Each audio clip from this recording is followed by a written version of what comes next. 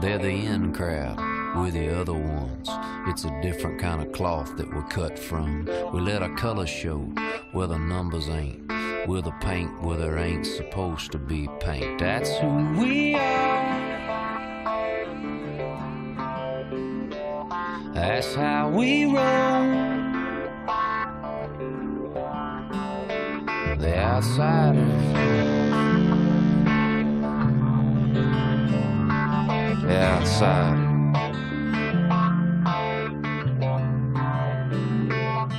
I will get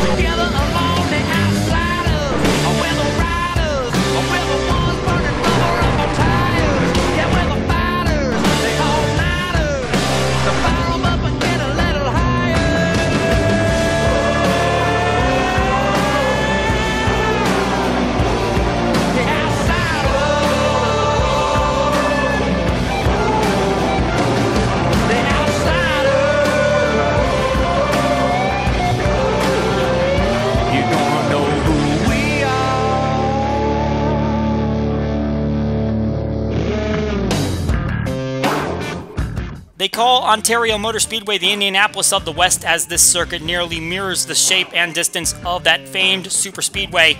But for all that track means to motorsports, this one might mean a lot to the NFR and League Cup Series drivers as 12 of them look to advance their way into the next round of the playoffs. From the southern part of California, this is the Ontario 500.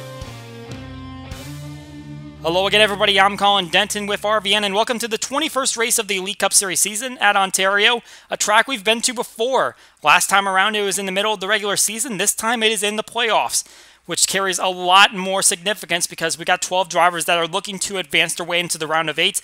And after the last race at Simtel Park, Reese Butcher was able to steal it away from those drivers, and no one has been able to claim their spot in the round of eight yet. And it is big for a lot of these drivers because Fifth back to 12th are separated by 20 points, so a good day here can go a long way. And by the way, we've got four Super Speedway winners in the field from this season. Amethyst Ashley, David Davidson, Julio Caesar, and Philip Fry, all Super Speedway winners, and they're hoping that they can make it two here today at Ontario, but it's going to be a long and grueling task because we know that there was a lot of issues with the pit entry last time around coming to this circuit, and hopefully we're not going to see some of those same issues, but we will have to see. We got 40 laps to determine it. Taking a look at where we're coming from, Simtel Park. We'll be back in Wisconsin for our next race at Milwaukee Mile, but we head to Ontario for the second time, and for the second time, we're in California. Ontario, just a few miles away from Fontana Auto Club Speedway and also from the former Riverside International Raceway. And this track has played host to numerous IndyCar and NASCAR races back in the 70s. We'll take a look at our test car on track so you get a feel for what it's like to drive around this circuit. Going down into turn number one, over 9,000 RPMs, you're going to be hitting that rev limiter. That tachometer is going to be blinking red almost every time you get to the end of the straightaway. Breathe the throttle through the corners into that short chute and then right back onto the back straightaway. And obviously, the draft is going to be a major factor in this event. Maybe not as important in the truck series. Those trucks really punching a big hole in the air these cars are a little bit more aerodynamic and they're not going to be punching as much of a hole, but you can definitely get an advantage getting somebody's slingshot going into these corners. You want to stay right down on the line. Going through turn four, it's a little bit different looking. We'll discuss that a little later in the broadcast, but definitely a lot of improvements made here at the racetrack, and that is a lap around Ontario Motor Speedway. And we'll see if the Elite Cup guys can manage it for 40 laps. Looking at our part-timer race, Shane Borland up in front alongside John Gilbert, who is going to slip back pretty quickly. As we mentioned, that outside line is not going to be the preferred line. It's going to be the inside, and that's exactly what drivers are using to make passes. There's Dwayne Calloway making his way by the two car of Robert Harrison. And it's going to be 75 of Kyle Wall who gets to the line first. And he will advance into the feature along with Borland. Dwayne Calloway, Chris Harley, Austin Rogers, and Craig Martin will all make the show. Sparky the Sun Devil just on the outside. along with Connor Miz, Kenny Knox, Donnie Moore. All inside the top 10, but unable to make the field. Gilbert dropping all the way back to 13th after starting on the front row. Our hot seat driver of the race is Jake Baskinger. Great playoff so far, a runner up at Texas World. Only weak spot Toronto Lakeshore, but still all four races these playoffs inside the top 20, so definitely a contender. And he's going to try to stay up in the points. He's currently fourth at the moment as we take a look at those standings. John Arndt at the top, Philip Fry at the back, but realistically, there is so little separation between those drivers at the cut line. 5th through 12, separated by 20 points. One wrong move in today's race, and you can find yourself at the back. Who will take the victory, though? Will it be a playoff driver? Time to find out. Let's go trackside for pre race festivities. And now, for the most famous words in motorsports, please welcome your Grand Marshal, leader of the famed Alabama gang, Bobby Allison. Crank them engines. Crank when you're ready. Crank when you're ready. All right, fire it up, bud. There's command. Crank. Get it fired up. Two time Ontario winner Bobby Allison on the command. Now, time to take a look at the starting grid. Starting on pole is Allison Rain in the number 6 Victoria's Secret Ford, first pole of the season, second in her career, and Craig Martin in the number 38 Loves Ford barely got in through the heat race but laid down a big lap just like Colin Murphy did in the truck race. Row number 2 has the NASCAR winner Jack Kraus and David Davidson, the highest playoff driver on the grid. In row 3, Mitchell Mark broke his four race streak outside the top 20, finishing 11th last race, and Philip Fry, three top 10s on super speedways for the chase contender. Two more playoff drivers in row 4, Jack Porkins, three straight top 15s, and Bernard DeBarros, seven straight top 20s. Rounding out the top 10, Noah Cars, two top 20 finishes on super speedways this season at Dale Jr. Fan 8883, runner up at Zen Joltis. In row 6, Chris Harley has an Amateur Cup victory at Pigs Cliff, and Eric Monaco, two top 10s coming on tracks 2 plus miles in length. Row 7 has Chaser Amethyst Ashley, top full timer on super speedways with the victory at Pigs Cliff, and Stephen Willie high on momentum after back to back top 3 finishes. Row 8 has the bump draft and runner up Tyler Markell alongside Reese Butcher, three time winner after his victory at Simtel Park. In row 9, Austin Rogers, three Amateur Cup top 20s on super speedways, and the other JR, best super speedway finish is 17th. Just inside the top 20, Chaser Adam Mundinger has two top 20s on super speedways, and Eli Bright, best super speedway finishes 19th. Two more chasers in row 11. William Brock finished 6th at Simtel Park. Stuart Grudden has two super speedway top 5s. In row 12, it's Nick Smith has two top 5s at Zen Joltis, and Cody Hagan, the final practice leader, has finished outside the top 30 three times at super speedways. A couple of super speedway winners in row 13. Kyle Wall won the Amateur Cup race at Bump Drafton, and Rampage won this event last season. Row 14, Chaser Jake Baskinger working back-to-back top 10s, and Brad Stover, the runner-up at Pigs Cliff. Row 15, Noah Ponzer, his best season finish of 6th came at 8 Bull, and Gerard Irwan has one Super Speedway top 20. The season opening winner, Julio Caesar, inside of row 16 alongside Shane Borland, who has three top 10s on Super Speedways between this series and the Amateur Cup. Row 17 has Dwayne Calloway, got a 6th place finish at Pigs Cliff, and Ryan Baden, no top 30 finish since his Peoria win.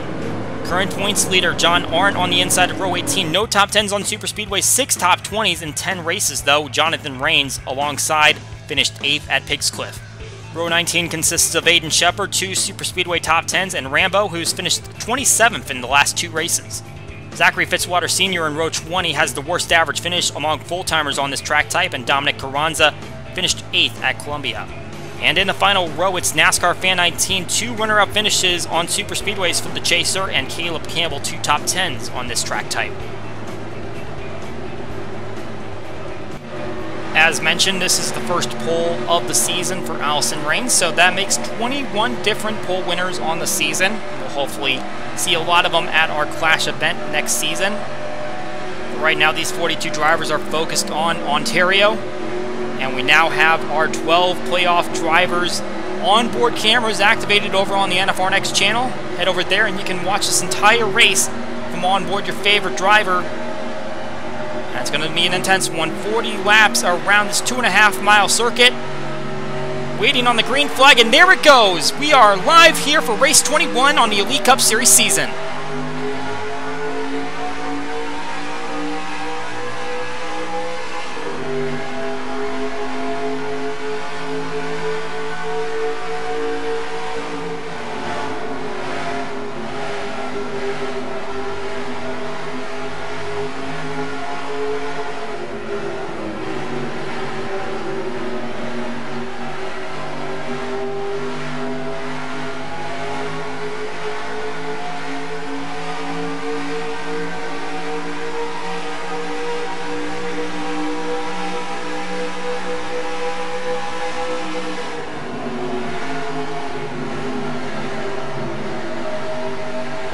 Exactly what these drivers feared about this racetrack is happening to Philip Fry right now as he's on the high outside through these corners, and look at him getting past right now. He started up in the top 10, and he is sliding backwards in a hurry. The way they started the race, he was only a point back of the cut line. Now he is 22 points back of the cut line. So right away, he's going to have some work to do if he wants to get back into contention. Allison Rain led the first lap, but Craig Martin immediately shoots through in turn one, grabs the lead, and Jack Porkins making contact with the outside wall. That was a pretty heavy shot. And right there, a bold move by Ashley to get by Noah Cars and now trying to take advantage of the 04, getting in the wall, losing that momentum down the backstretch. But at the moment, she has no drafting help as the 44 stays with the 04 and it looks like she's going to have the advantage going down into the corner. The 04 just lost too much speed going through that short chute, but that's going to be a cause for concern for the 04 car. But it doesn't look like it's going to cost him too much as now he slots in the line. The front group seems like they've gone single file, while the back group is a little bit more double file. The truck race was a little bit more packed up, but like we said, the draft is going to be a little bit different between these different race cars.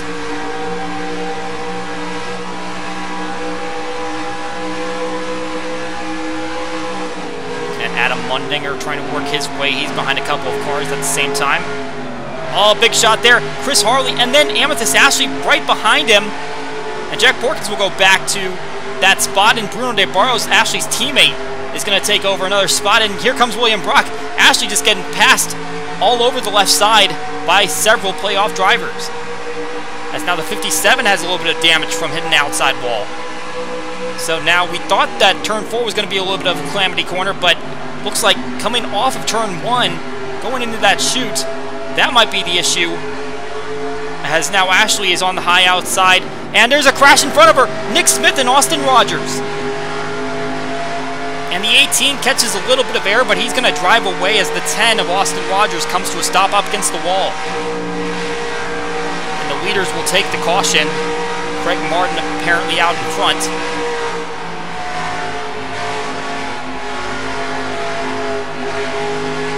So all of our cautions the last time we were here came as a result of drivers trying to merge on the pit lane, but we finally have a caution where it is not the pit lane that causes the issue. It looks like it was a move going down into turn four.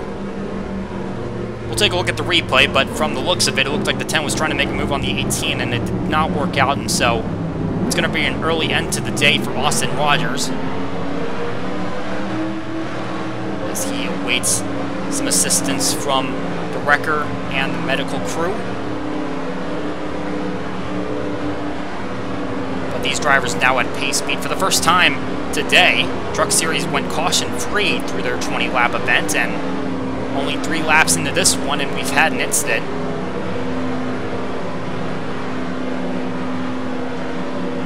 And we will see if they try to go for a pit stop here. A little bit of an older surface, so wouldn't be surprised, and it looks like we're seeing lot of cars starting to duck down toward the apron.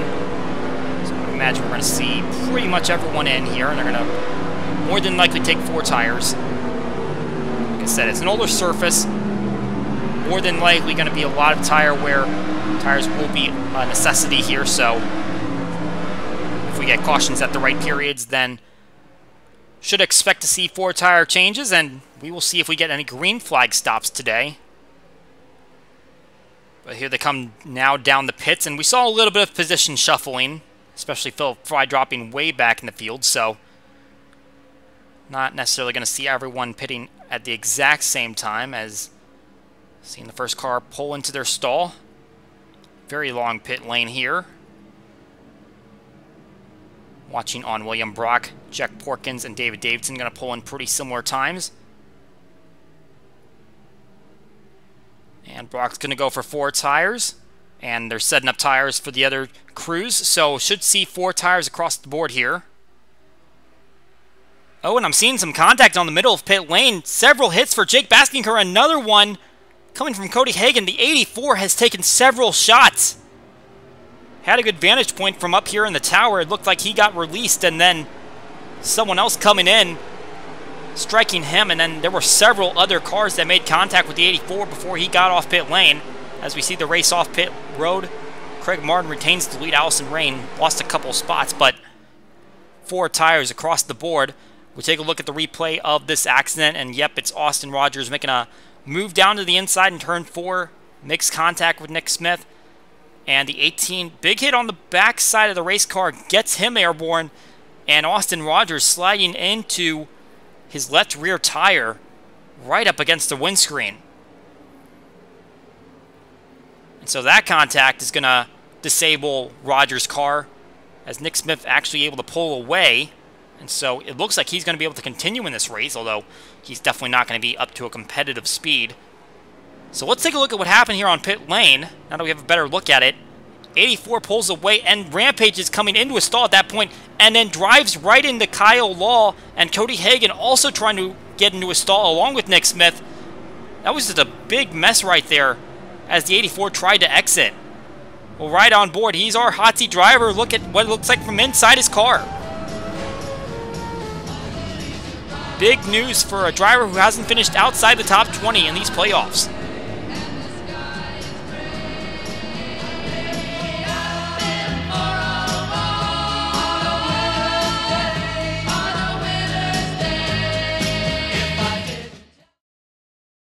Hey, I'm just gonna take it for a spin.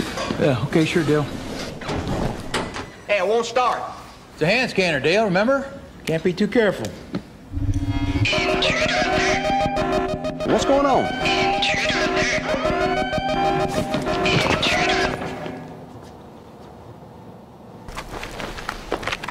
Dad? I just wanted to test drive. Unbelievable. Is that a no?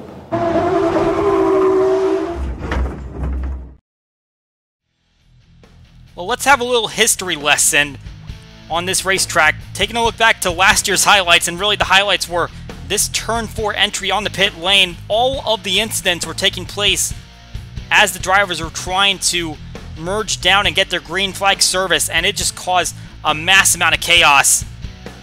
Took out multiple drivers.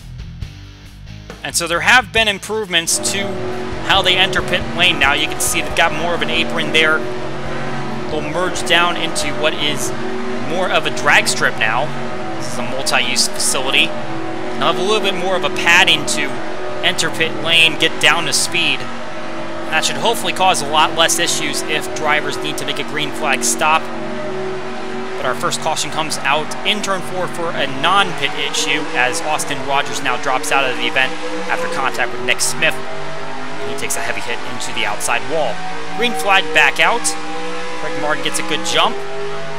But someone did not get a good jump, and that would be the 84 car of Jake Baskinger, and as we expected, big contact on pit lane, and he did not come back down for a second stop, so he is running with the damage that he incurred from that hit.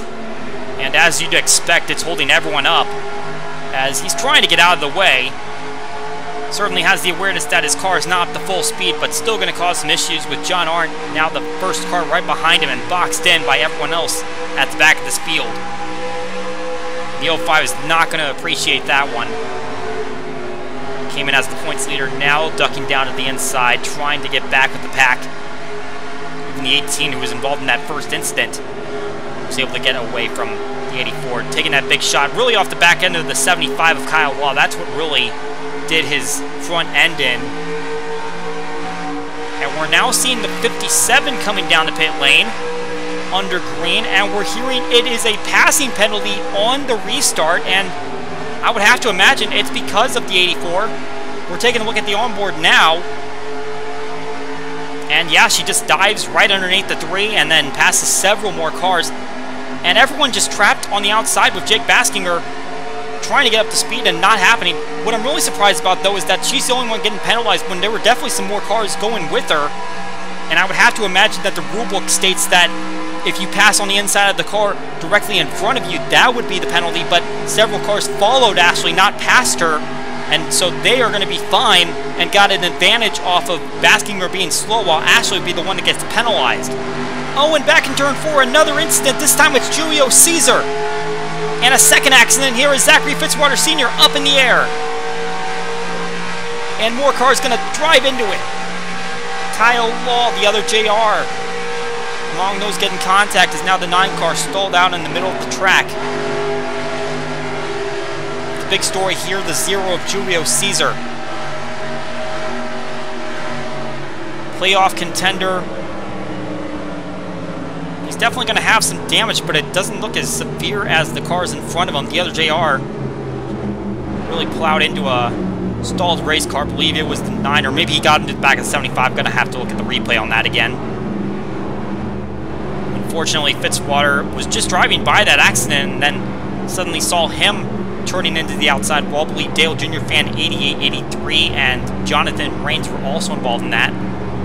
And there's Noah Cars. I believe that was the other car that was spinning with Caesar. So he's got some damage. And then I believe he also made contact in that second portion of the wreck. Yeah, you can see he's got damage on both sides of his race car. Have to see if he can get that fixed up, if he can get back into the field, or else he's going to have to go behind the wall.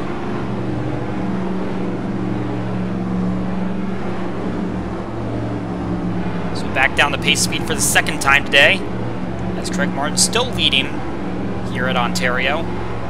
He'll lead this whole group back in the pit lane. Once again, everyone coming down for service.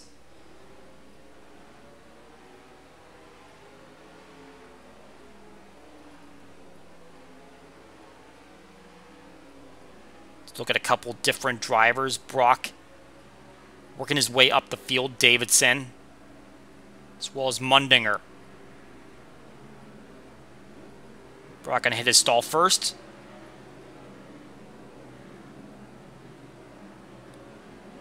And it's going to be four tires for Brock. Mundinger at his stall and tires at the ready. Looks like it's going to be four for him and would imagine for pretty much everyone else in the field as well. Ran a couple laps on their green and certainly can get the benefits of those Goodyears on your race car. And once again, it's going to be the 38 that gets off pit lane first. Looks like a little bit less drama. And the front four actually maintain their position as Tyler Markell drops a couple spots to DeBarros and Mundinger. Eli Bright jumping up three spots. So let's take a look at this incident, and I believe there was a little bit of contact there between Mundinger and DeBarros, but it's the contact between Caesar and Cars, pretty much similar to what we saw before with Rogers and Smith. Only this time, Caesar's going to strike the wall first, and Cars a little bit further down the racetrack. And then, as these cars are trying to avoid the incident, as I believe Mundinger might have sideswiped the 44. Yep, there's Rains and Dale Jr. fan 88-83 making contact, and they go out of frame, but did see how that incident started, the 77 and 76 making contact. There's that hit at full speed, and then we'll see 76 is already down in the apron, 77 trying to get lower to avoid the incident. And unfortunately, Fitzwater Sr., we mentioned, he has the worst average finish at super speedways, and it's only going to get worse as he takes a heavy shot into the outside wall. No fault of his own, just caught in the wrong place at the wrong time once again. Riding on his side. This is not the first time that he's had a wild ride at a super speedway. I can remember back to 8 Bowl. If I'm not mistaken, I believe he ran into the roof of Jake Baskinger. And this time he is going for a flip, and I believe we're going to see Noah Cars as his car is a little bit hard of steering. He's going to strike the 9 while it's still airborne. And then the 75 and the 98 are committed to the high side, thinking that the wreck is going to go low, and 75 is going to hit Fitzwater. And then the other JR runs into the back of wall, and that's where he gets all his damage. As we see Dwayne Calloway just barely braking as the 44 comes to a near rest in front of him. Riding on board Caesar.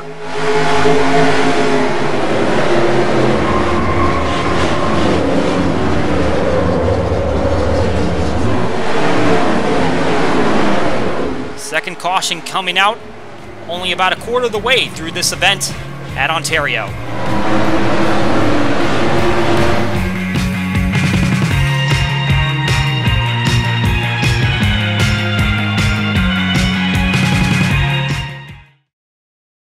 I'm really proud to be a part of it. Love, it's pretty amazing. Her name is Amanda Brookman, and she is my destiny, although she may not know that, per se. So you can go online and make any kind of car you want. I made a love car. Do I think they stand a chance? I mean, who doesn't love love? I love love. What will you design? ToyotaRacing.com. Who?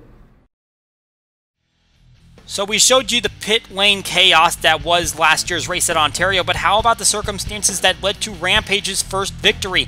Gabriel Wanderley had the lead, but he decided that he was not going to make it to the checkered flag even as they ran and finished under caution. So he came down for service, the one stayed out, and he was able to claim his first career victory that led on to a title in season one. However, it is not going to be a repeat this season, for the title at least, as he is already out of the playoffs, as you can see. A terrible stretch, seven times outside the top 20 in the past seven races. Allison ranks a little bit worse at the moment, out of the playoffs in the first round as well. I don't think either of those drivers, though, are going to catch Stephen Willey in his terrible regular season. We see the drivers out of the race now. The other JR, Jonathan Rains, Kyle Law, and Zachary Fitzwater Sr. will all not return to this race. But we go back to Green Flag Racing, and you can actually see that the 34 of Jet Kraus is out in front. We had to go back and look, and I believe it was in the corner of the screen, but he was actually coming in the pit lane in front of that accident. He was able to get his four tires changed and get back on the racetrack and not have to pit, so he grabbed the lead. And supposedly he was reporting a vibration, which would make sense because he had just come in that caution prior and gotten four tires, and he was still up there near the front of the field, but he caught a little bit of a lucky break with the fact that they crashed right behind him. He was able to go ahead and take the lead instead of lose all that track time. But it looks like that's going to be short-lived as the 38 pushes down to the inside and he overdrives the corner. So the 34 way outside as William Brock tries to take the lead over. 38 dove it a little too deep and he went up the racetrack and that opened the door for the 23 of William Brock trying to lead a lap here and grab a bonus point. And it looks like that's going to be right in hand. You know, he's got a big draft coming to his inside. If he's smart, he's going to change lanes here, but maybe not. He's going to have enough time to arc the corner and maintain a lead over Mitchell Mark as now the 57 back down pit lane. And we're hearing that she did not take tires during that last caution. That just does not make any sense. She was able to stay on the lead lap despite the penalty, but now that 57 crew is just going to waste even more time coming down for that service. Now, just inexplicable mistake there by that crew as now the five diving down to the inside of Brock and Mark takes over the lead with one fell swoop through turn three. So Brock will go back to second place, but he leads the lap, gets the point. So that's all he really needs there. Obviously, he wants to go for that victory, but he's at least got one more point in his bucket as Ashley now pulling off pit lane, but it seems almost inevitable that she's going to go a lap down. And you just can't excuse that. Just take your tires when the opportunity presents itself. You caught a bad break there with the cars all stacked up.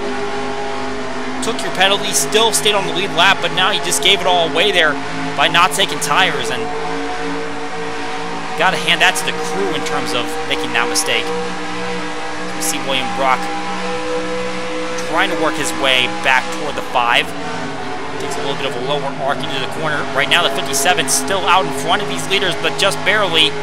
She's going to have to hope for a caution right now because they are charging. They've still got full speed, hot tires.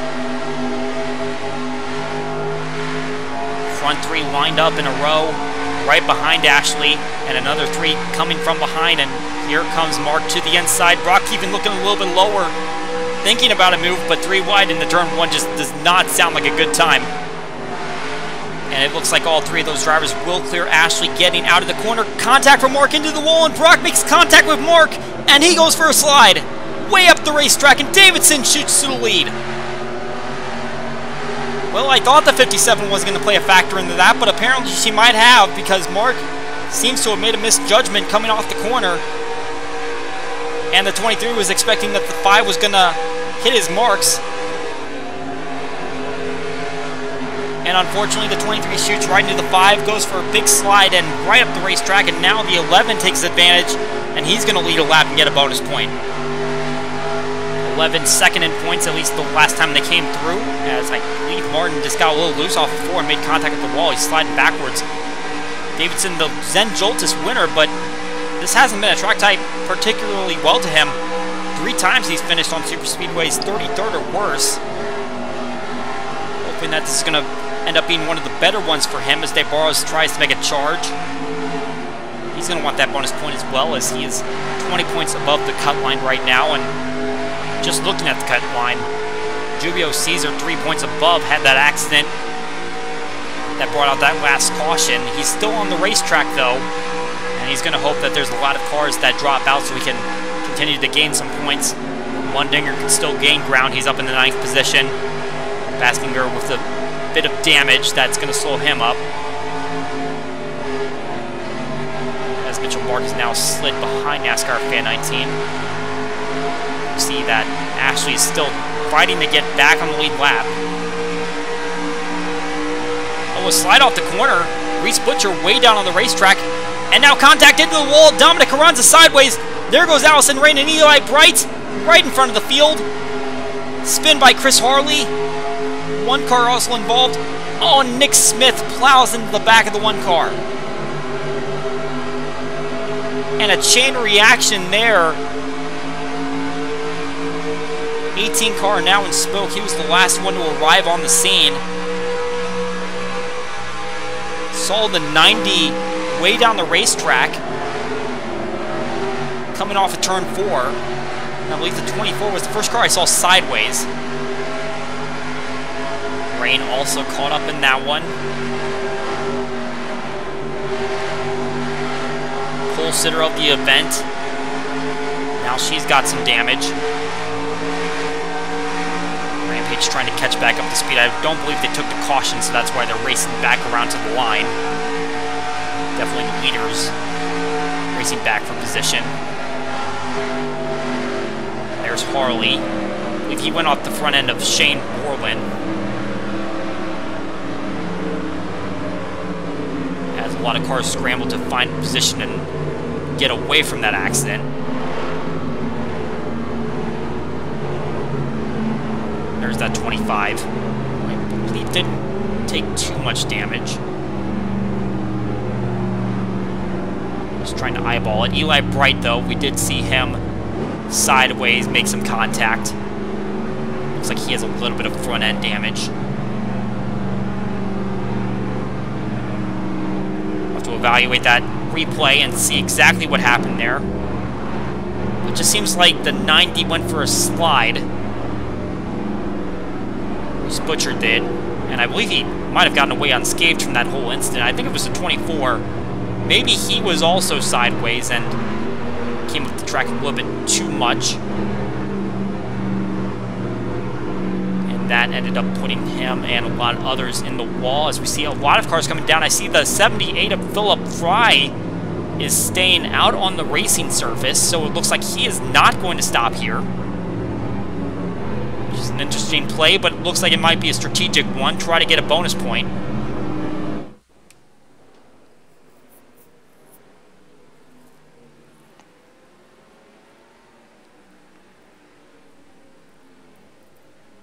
keeping an eye on several of our drivers up near the front of the field.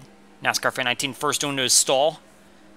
And going to take four tires. This is the longest green flag stint we've had so far this race. So wouldn't be a surprise to see four tires taken here. Especially because they've been taking four tires for the first two stops when those stints were a lot less intensive.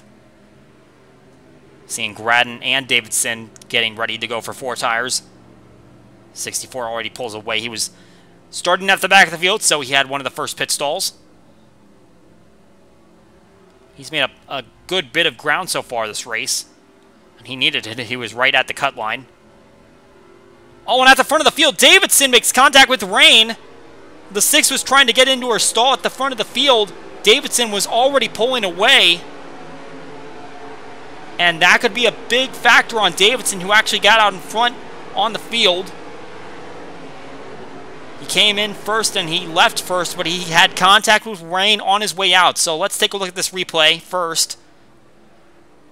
And yeah, so Butcher made contact with Carranza. They went for a big slide off of corner number four. And they correct it. But unfortunately, Callaway comes in and makes contact with Carranza. Rain squeezed into the outside. Bright runs into the back of the 24, makes contact with Butcher, so he did have some contact on that whole incident. Stephen Willie squeezed in there at the back. Uh, Rain comes around and gets Borland, so the 25 gets the 3 as a result. And the one trying to come to a complete stop, trying to avoid. As Noah Cars slips through, I believe the 76 might, as, might have as well as well as Maiden Hagen there on the bottom, but then here comes Smith with a lot of speed, already damaged, and right into the back of Rampage and a little bit into Rain as well. And we saw the smoke coming out of the 18 car, so it looks like his day is going to be done. Riding on board Julio Caesar as he rides through this one. Third caution of the day here at Ontario.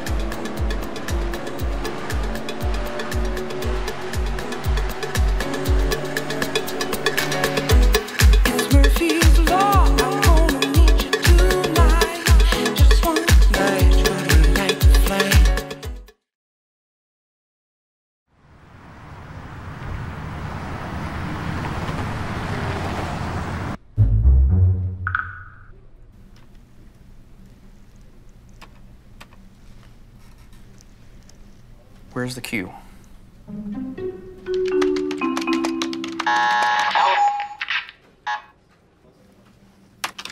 Where's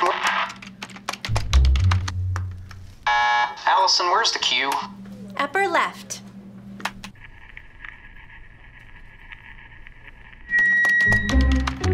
Next to the W. Oh. Thanks. Thanks.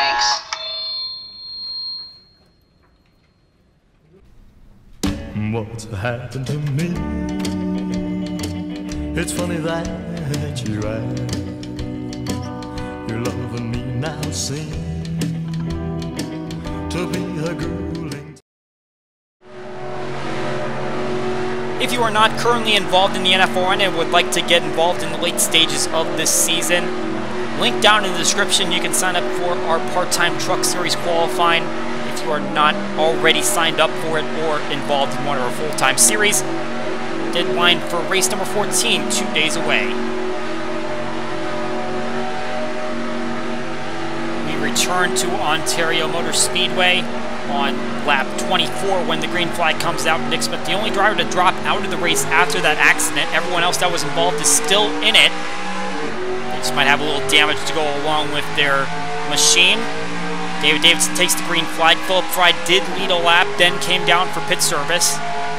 So grabs a bonus point, but as you can see, he's still bottom of the chart, 36 points behind. So it's going to be a big uphill task for him to get back into contention here. And you can see Davidson struggling to clear Ashley as the 57 gets out in front. So now she's technically back on the lead lap, and that allows Martin to go down and take the lead over. So once again, Ashley causing some havoc as she fights to get back on the lead lap, which she has plenty of right to do, but certainly a situation that could have been avoided if she had just gotten tires when she had the opportunity to. And trouble back in turn three. Stephen Willie up on his side. Chris Harley also involved. And the caution has not come out. I am very surprised by that. The 62 is fully on his side, going on the wall. And we're going to stay green. I guess no one technically went around, but the 62 caught some major air there. And let's look back at that one.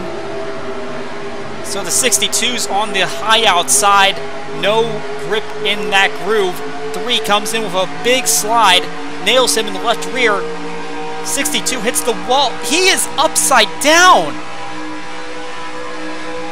scraping against the catch fence, the wall, grinding sparks against the pavement, and he'll get back on all four tires, but they continue, and they don't call a caution flag for that. I get it. No one necessarily went around, but that was a pretty gnarly situation. And either way, they're going to continue racing.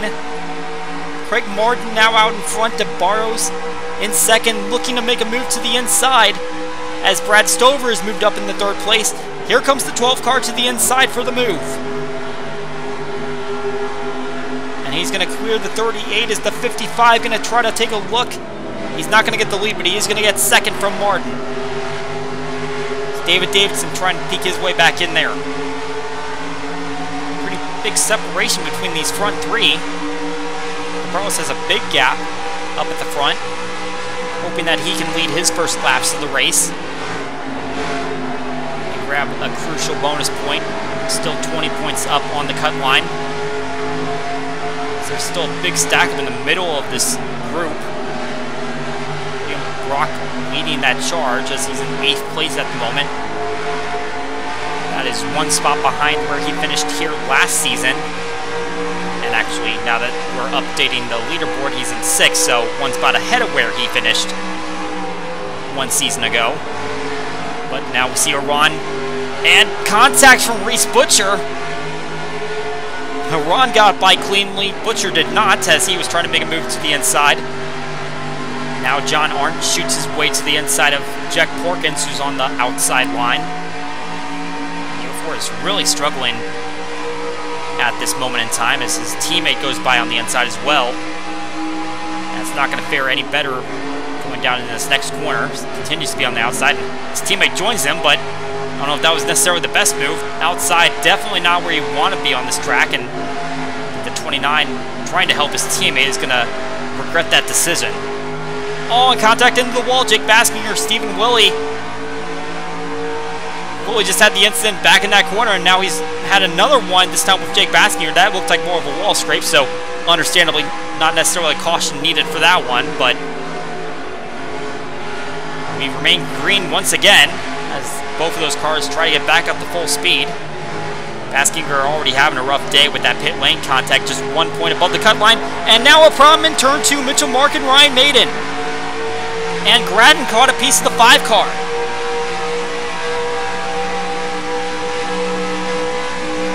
Looks like everyone else is going to get away with it. The 76 almost ran into the back of 99 as he tried to get straightened out, but looks like it's going to be primarily a two-car incident, perhaps three if you want to count Gradden in that, because it looks like he sideswiped the five-car as he was coming through.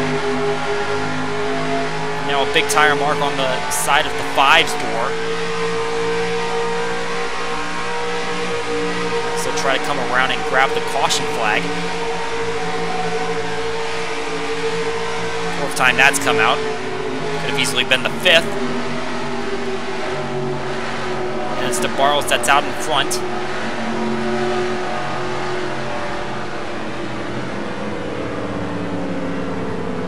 So he will have the advantage going down in the pit lane. Getting into the late stages of this race, and this caution comes at a pretty precarious time. At least as we look into the fuel window. Obviously, we haven't had enough of a long run to really determine what that fuel window is, but if we're going based on practice laps, it seems like we're kind of right on the edge of that window where you might be able to make it, you might not. We'll see what the fuel economy is. And if any of these teams try to gamble with something, you can say this, they're more than likely going to come down now because you pretty much have to. You're not going to make it based on the last stop.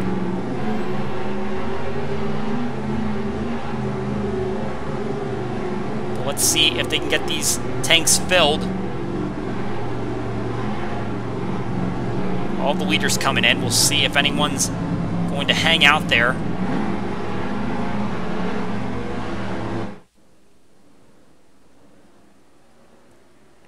And the 04 is still out on the track. So Porkins is opting to go for a lead lap. He does not have one so far this race. So he'll opt for a bonus point. as we watch DeBarro as Brock and Gradden take their service.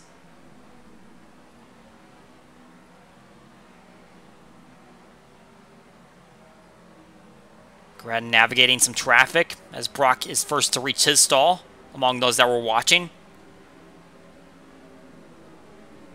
And it looks like we're going for some split strategy here. I say split, it looks like a lot of them are going for two tires. That's the case for Brock. He's going two rights. And it looks like the DeBarros is going for rights. Gradden is going for rights. The 12 car took a long time. He's not going to be the first car off of pit lane. I wonder if he was trying to fill his fuel cell a little bit more. Just maybe not enough that it necessitated a four tire stop. As we look at the race off pit lane, Brock five spots up, and DeBarro loses four. Campbell went for four tires. That's interesting. He'll lose five spots in the process. Let's look back on that Baskinger Willie incident. It looks like 62 goes in deep on the 84, and obviously both cars having damage at this rate as the one car shoots by on the inside. Not quite as dramatic as Willie just had a few laps earlier, as they just scraped the wall, but a little bit of contact is going to cause him a little bit more sheet metal damage. And they grind it all the way to the exit of the corner. And 62 a little bit more. It's the 84 trying to find a lane to shoot by. That's what it looks like on board of Baskinger.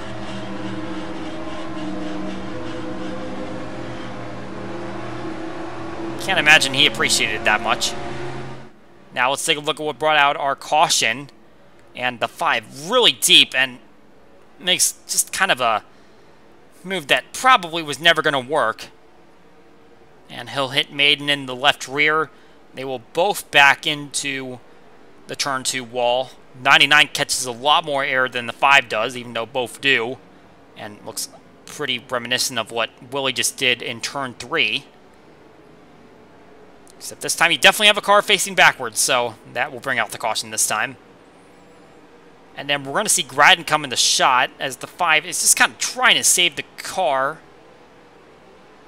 Not entirely in control here as the 29 sideswipes him. And that will send him back around. Not sure what kind of damage Gradden got because we were watching his pit stop and it didn't look like he really spent that much time doing any damage repair, so he might be fine, but it's the four caution of the day here in Ontario. Hopefully our final restart coming up.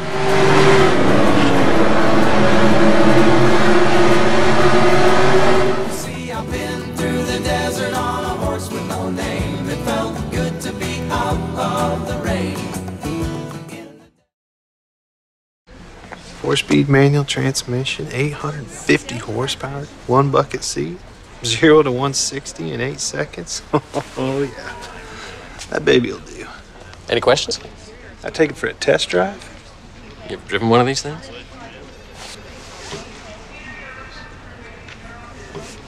I'll get the keys. She don't take keys.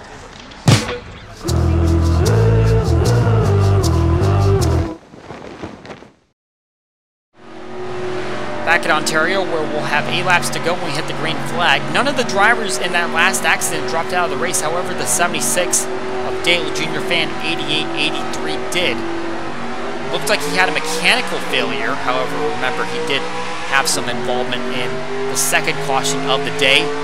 Jack Porkins stayed out, led a lap, then pitted. So now Brad Stover is leading this race. As Porkins fades to the back of the field, he is below the cut line at the moment. We'll see if he's able to gain points and then put himself back in the green. Jake Baskinger on the inside, hoping that he won't be put out as he has a wounded race car. Stover gets a good jump as Ashley holding up the traffic. He restarted single file and Martin looking to the inside of Brock trying to take over second spot. And they go side by side. Brock is able to maintain a momentum. That is something we have not seen on the outside line. He's able to hold down second place. Davidson looked at that line and decided he might want to have a shot at it. Not getting challenged from the inside yet. Laps are winding down, and Stover now out to a big lead. One of the biggest we've seen all day for a driver who is outside of the playoffs, but trying to fight for the 17th position and possibly Rookie of the Year. Jumble up here as DeBarro is stuck on the outside. Now getting passed by Monaco on the inside.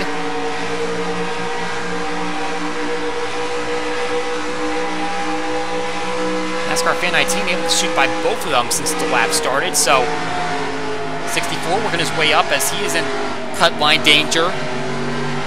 Suddenly it seems like turn 3 has momentum on the outside as I saw Tyler Markell making a move to the inside of DeBarros, but all of a sudden the 12 car just shot forward and maintained that position. Something to keep an eye on as these laps wind down. Still a big pack near the back of the field. Cut line down to two points as Porkins trying to work his positions up.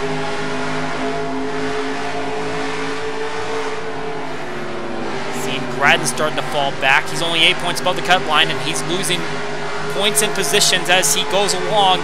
Now the sixth car underneath. And Juan right on his back. And there's Julio Caesar trying to limp his wounded race car home. 13 points above the cut line. Here's a move from Ashley on Stover to try to get back on the lead lap. At this rate, I believe that a caution would negate any advantage of being back on the lead lap. So that was a big advantage for William Brock trying to get passed over. Because the 55 had a big lead there. Now Ashley has forced him back toward the 23 car. And the 55 is going to try to get right back to her not able to complete the move. Riding on board Brock. He's looking for an opportunity to pounce. Got the victory at Riki. That's a track that's not necessarily classified as a super speedway, but for the racing that it provides, it kind of operates like one. And he's using the experience he got there in trying to make a move toward the front and get victory number two and one that will advance him into the next round of the playoffs. Side by side for turn three and contact. Stover made the move. Ashley had to get out of the gas, and Brock door slams her.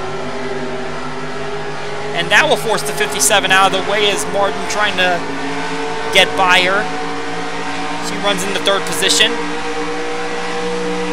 Her teammate DeBarro's back and forth. Still a long ways to go for him as four laps to go in this race. And the one thing that's missing for Stover this season is a victory. Four top fives, eight top tens. Things just kind of went sideways when it came to getting into the playoffs. And amazingly, this is his worst track type, 25.6 average finish on the super speedways. He was a runner-up at Pig's Cliff, but all the other finishes really not that impressive. So to come up through this field and lead laps, looking for that victory, this could be a big day for this driver.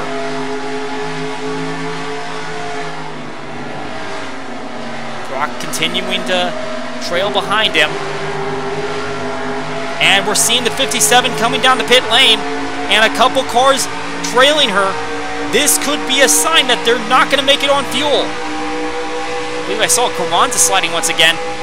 But that was Monaco and Kraus that were coming down, so no playoff drivers. But with three laps to go, this is going to be a concern for these drivers trying to make it to the end of the race on their fuel cell. And I wonder if this plays into Jack Porkins' hands as he just goes above the cut line. He pitted latest. So he got the bonus point, but he also might have a full fuel cell. We see Martin working on the inside of Brock. Trying to make that move. Not going to happen. Well, Brock is still high, so Martin's going to make the move. Big time move there. Coming off the corner and the 38 in the second place, and Stover coming to pit lane. All of the leaders coming to pit lane. That's at least the top four, and I believe that is Ponser, that is first, that is still out, followed by Butcher and Callaway. So with two laps to go, a lot of playoff drivers in the pits, concerned that their cars are going to sputter while they're out on track. There is Stover in. I see NASCAR Fan 19. Brock, DeBarros, Davidson, Gradden, and Porkins is also in there. I'm very surprised to see the 04. I figured by staying out and having a little bit of a later pit stop, he would have more fuel than the rest of the field, but apparently not the case, or at least they're very concerned that they're not going to make it or slow down on the track. So that's a look at the drivers that had to come down for service. Mundinger is the first playoff driver in fifth, but he's not in this main group up here in front. And it does not look like any of these top four are coming down for service, so Noah Ponser in line for potentially his first victory. But Reese Butcher trying to get his fourth and back to back. White flag is out. 92 in the lead, 90 chasing. Here comes Campbell trying to make a move to the inside on Butcher. They're going to go by the 04. He's going to go lap down. Campbell can't complete the pass, and Butcher is gaining ground on the 92. If Butcher were to win back-to-back -back races, that would be the first time in the Elite Cup Series history. Not in the league's history. Kyle Law did in an amateur. But if he's going to make a move, he has to do it down into turn three, or else he's not going to have the chance. Here comes Caleb Campbell to the inside. And the 90 has to get out of the gas. And that opens the door for the 92. Campbell's going to pass Butcher, so is Callaway. But coming off of turn number four, the fuel is going to hang for Ponser. A maiden victory in the Elite Cup Series here at Ontario.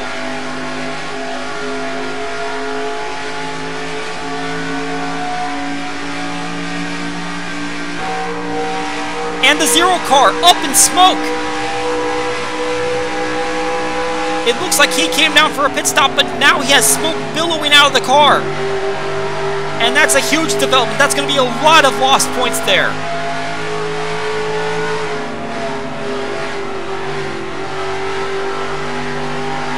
Going to limp it back home. He had problems earlier in the day. But for Noah Ponser, it's win number one in the Elite Cup Series. This is, in fact, his first top five in the series. It seemed like he had a decent chance to go for a victory, possibly at Simtel Park. That did not pan out, but today it all went his way. As he goes to victory lane, Caleb Campbell will end up in the second position. That's a career best finish for him. Dwayne Calloway able to swipe away third as Butcher had to get out of the gas, just didn't have the momentum there. He'll end up fourth, and Adam Mundinger ends up in the fifth position. He's able to have his gas last all the way.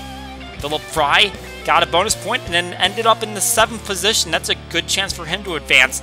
And John Arndt didn't really talk about him all day. He was kind of silent, slowest in the final practice, but he got the ninth position today, and that's all he needed to hopefully pad his way into the next round. Looking at the next page, I'm very surprised to see Jake Baskinger finishing in 15th position after the pit lane problems on the first caution. Looks like he was able to keep his gas going to the finish line. Brad Stover, a heartbreak for him. Looks like he was on his way to his first victory, and he'll end up in the 16th position after having to pit late. William Brock, NASCAR Fan 19, will finish inside the top 20, but they had to pit in the last laps of the race. Also pitting were Barrows, Gradden, and Davidson. They will finish outside the top 20. Dave Barrows and Davidson really had a chance to go for a victory there.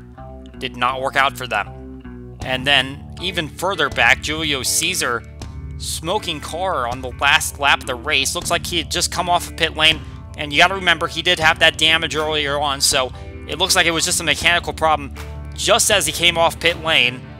And he still crossed the line, so he is registered for a finish. Jack Porkins did fall a lap down. Emmett Sassley two laps down after falling a lap down earlier and taking that late pit stop. And obviously, this race featured a lot of attrition. No drivers dropped out of the Truck Series race, no cautions, no accidents. This one had four cautions with seven drivers dropping out. None of them were in the chase. But speaking of the playoffs, let's take a look at how those points look now after that chaos that happened at the end. John Arndt manages to keep that points lead, 10 points over William Brock, and 32 points above the cut line, which now has David Davidson above Stuart Gradden. NASCAR Fan 19 was already outside the cut line and he'll remain there. Jack Porkins fell out while Adam Mundinger and Philip Fry worked their way into the playoff picture, but you take a look at 4th through 11th, there is no safe margin there when you head to Milwaukee Mile, you're going to have to be absolutely perfect to ensure that you're going to be in the next round. As Baskinger, Brock, and Arndt feeling a little bit more comfortable, and Ashley was already one point below, and with that poor finish today, she'll be at the back of the field. We'll show you the points for the drivers that are already eliminated from the playoffs, and it should come as no surprise that the driver that was able to avoid trouble today and finished in the fourth position, Reese Butcher, continues to extend his gap over the other three drivers eliminated in round one. Outside of the playoffs, it's still Stover at 17th position, but instead of Jack Kraus one point out, it's Aiden Shepard, as he'll slot into 18th. Kraus, a little bit further back in the field, will be 19th in points now. Meanwhile, Noah Ponser's victory skyrockets him from 27th to 22nd in the points.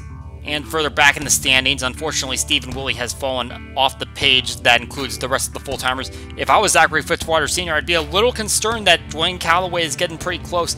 You have to remember, after his victory at Twin Ring Motegi, Calloway was 10th in points, and clearly he hasn't lost that luster, but it doesn't fare well for those full timers. They've still got five more races in the season to make sure they finish at least 36th in the points.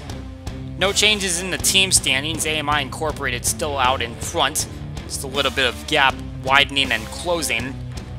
And in the Rookie of the Year standings, it is still Brad Stover out in front by three points on Jack Kraus. Really, the only big jump that was notable in the front of the field was Philip Fry, gaining 10 points with his top 10 performance here today. So that is going to do it for our races here at Ontario. A lot more exciting and action-packed than we saw in the Truck Series. Probably a little bit more than we bargained for, but it still produced a great finish with Noah Ponser going to victory lane for the first time in his career. The next time you'll see us on track, it will be the Elite, Amateur, and Open Modified Series at Milwaukee Mile. For NFR and RVN, my name is Colin Denton. We will see you all next time.